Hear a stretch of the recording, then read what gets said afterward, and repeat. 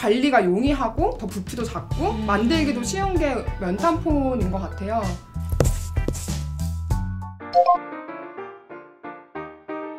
저는 요즘 면생리대 사용하고 있어요. 미국에서 갖고 온 면생리대인데 이렇게 네, 생겼고 타월 느낌의 수세미 아닌가요? 이거 몸 네, 딱 하면 느낌은 되게 좋아요. 근데 저도 처음에는 안 써봤었고 또 매번 그걸 빨아야 하니까 번거로움이 있잖아요. 그래서 음. 꺼렸었는데 한 3개월 정도 면생리대를 쓰고 나니까 생리통 증상도 완화됐고 그 사이클도 돌아온 것 같아요.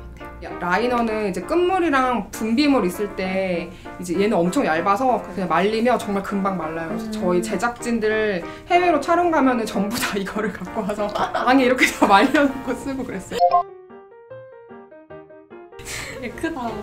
저는 오늘 처음 듣고 처음 봤어요. 최근에 샀어요. 이틀째 같은 날은 좀 못 입고 끝물에 생리대를 차기는 너무 싫은데 음. 그냥 팬티만 입자니 그쵸. 찝찝한 그런 상황에는 입긴 좋은 것 같아요. 맞아요.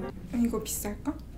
특수 소재로 만든 거기 때문에 가격이 세요. 세 장만 사도 10만 원이 그쵸. 넘어가고 이러니까 진짜로 필요한 사람들은 육체 노동하는 여성이나 오래 서서 장시간 일하는 여성들일 텐데 그분들에게 접근성이 얼마나 될지 이런 게 뭔가 내 체내 안에 삽입한다 그러면 실제 해보지 않아도 얘기만 들어도 일단 거부감이 좀 있잖아요. 심리적 거리감이. 없다 보니까 편하겠네 하고 구입하기 가장 쉬운 것 같아요.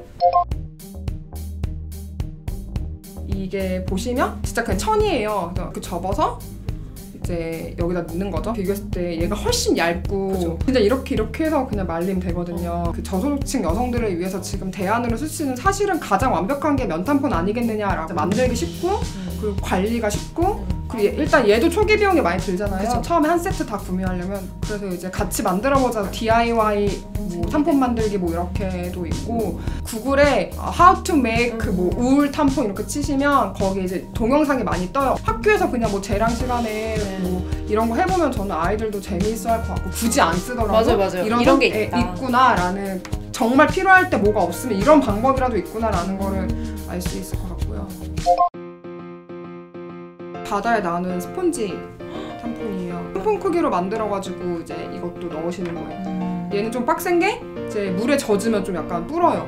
빨때 조금 이제 부피가 아. 엄청 커지죠. 아, 이렇게 돼요? 네, 아 이거 뭐 그렇게까지는 아닌데 자기 몸에 맞게 잘라서 쓰셔도 되고 네, 그리고 재사용이 가능하고 더 존재할 수도 있지만 이렇게까지가 제가 모은 정말